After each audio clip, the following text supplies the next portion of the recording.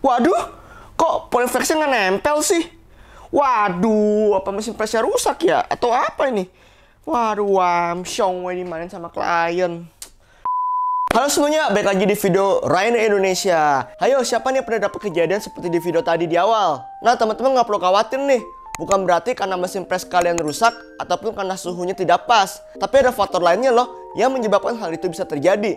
Salah satunya adalah polyflex yang sudah kadaluarsa. Terus dari mana kita taunya nih? Polyflex yang masih bagus dan polyflex yang sudah kadaluarsa. Makanya stay tune terus ya, karena bakal gue bahas di sini sampai selesai. Oke, langkah pertama untuk mengecek polyflex kalian masih bagus atau tidak, yaitu dengan menciumnya. Teman-teman bisa cium bahan polyflex ya. Kalau polyflex yang masih bagus itu tidak ada bau menyengat.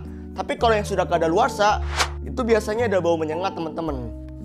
Nah, seperti ini yang saya cium barusan, ini tidak ada bau menyengat dan berarti polyflexnya itu masih bagus dan belum kadaluarsa.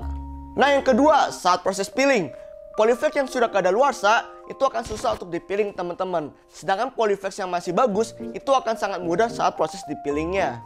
Oke berikutnya saat proses press teman-teman. Polyflex yang masih bagus itu saat proses di press bahan lemnya itu akan langsung menempel ke medianya. Sedangkan polyflex yang sudah kadaluarsa, lemnya itu akan sulit untuk menempel pada media kainnya. Kenapa bisa begitu? Karena lemnya itu sudah kadaluarsa, sehingga lemnya itu tidak bisa menempel secara maksimal.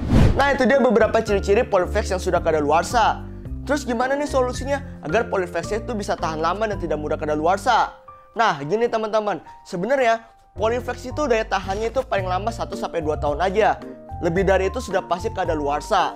Tapi pasti ada cara mengatasinya, yaitu pertama, nah teman-teman harus menyimpan bahan polyflexnya di ruangan yang tidak lembab ataupun yang sejuk teman-teman. Nah yang berikutnya nih, teman-teman harus pastikan jangan sampai teman-teman menerima bahan polyflex yang sudah hampir kadaluarsa dari si sales polyflexnya. Karena itu akan sangat mempengaruhi hasil dari customnya teman-teman. Dan yang terakhir, Pastikan kalian memilih bahan polyflex yang sudah terpercaya.